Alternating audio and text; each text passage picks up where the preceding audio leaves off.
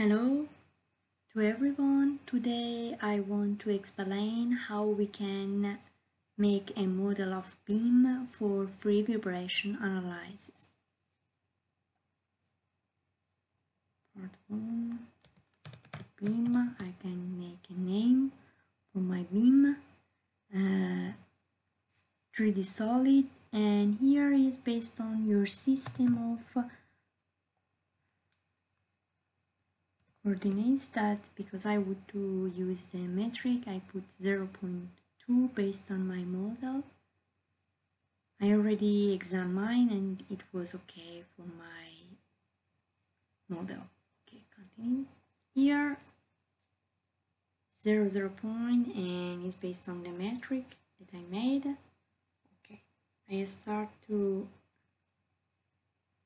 make the x and y of the every single point of my cross section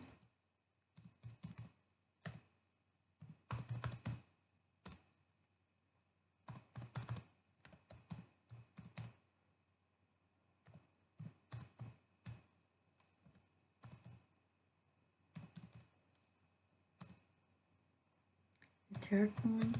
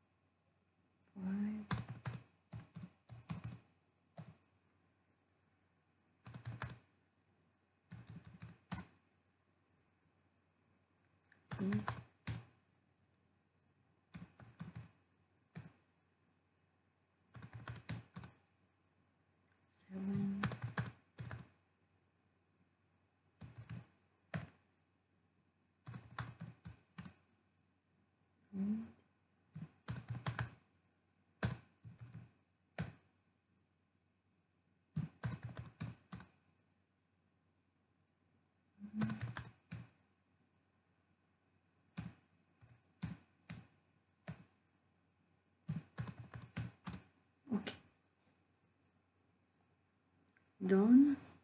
And here we should put the depth of the beam or the length of the beam in fact. Okay. The next step we go to, to define the property of the material. First of all because it's the vibration analysis for sure we should define the density. And then elasticity property.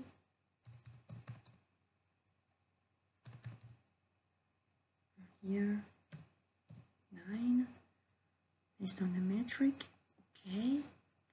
The next step section is homogeneous material and solid okay. Then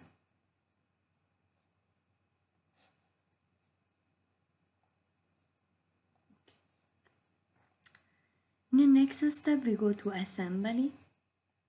Here, uh, we have different types of mesh, dependent or independent. I put the independent to be able to create the partition on my face of the cross section. Okay.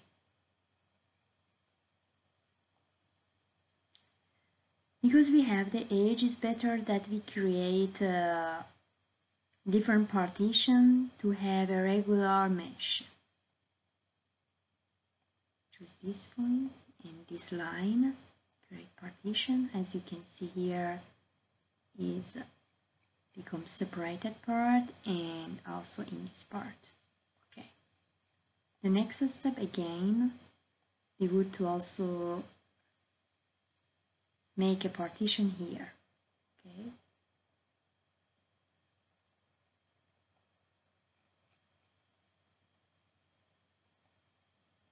And then this line okay as you can see. In the next step again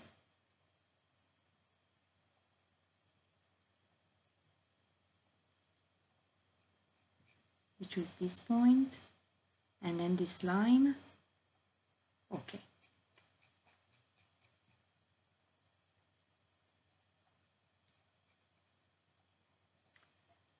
In the next step we go a step we create the first is is on the load. Here we don't have any force on the beam. In fact it's free vibration analysis but for defining the boundary condition we create a step load.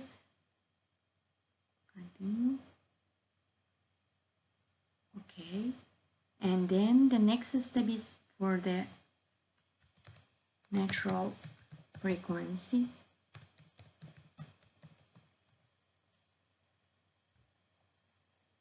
Linear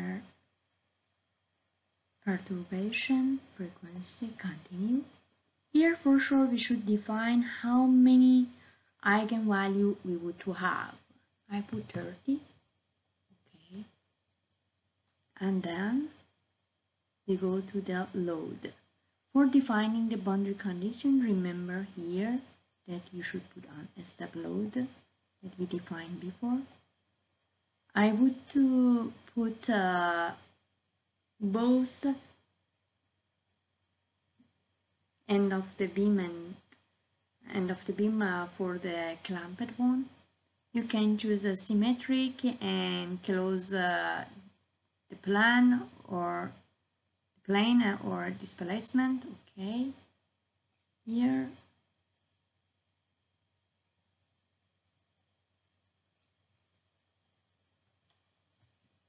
I push the shift on my keyboard to choose all of these faces.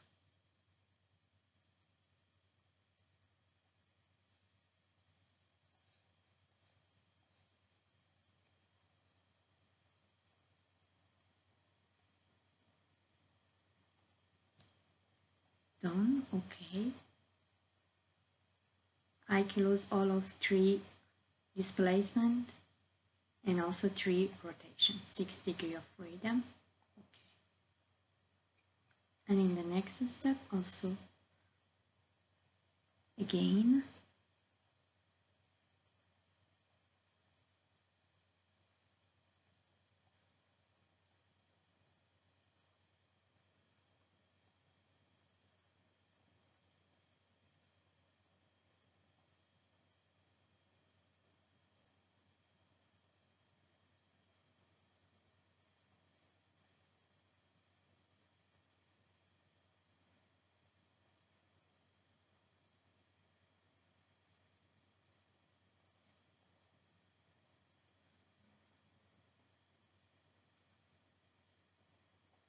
this face.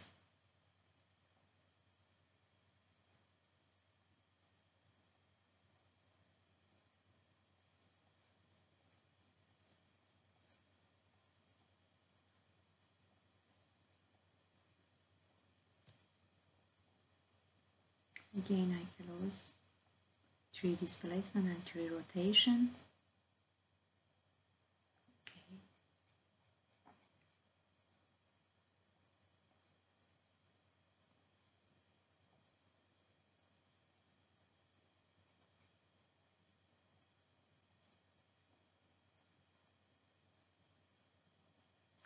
as you can see we put both sides on the clamped boundary condition. Okay? In the next step we go to the mesh. We can choose how many seed we would to have on the structure. If I put one apply. As you can see we will have a big mesh big element for the mesh. I would to have more refined because it's thin wall and I would to have the more accurate result. Okay. And then here we can choose which type of element we want to have. Here we have different type of uh, order for elements linear or quadratic.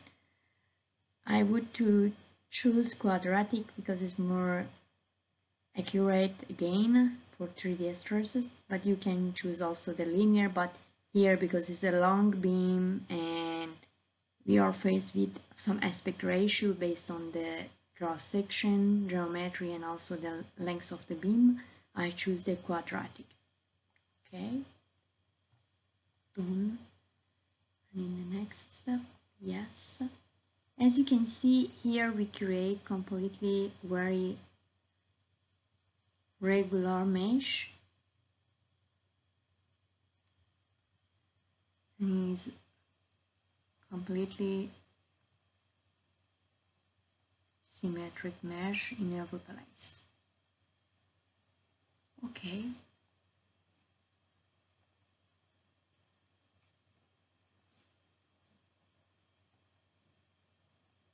Okay.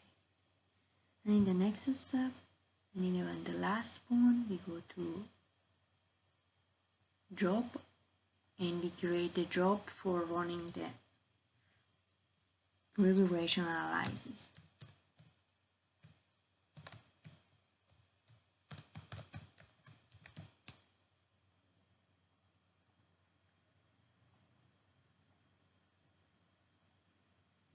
Here we go to submit our model and then we should wait to see if everything is going well.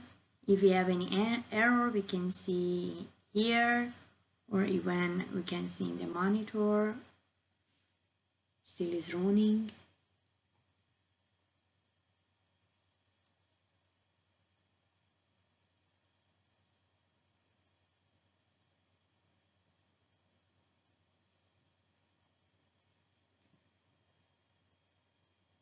If we have any error also we will have we will uh, see here. Here we don't have any error. Okay, and then the result.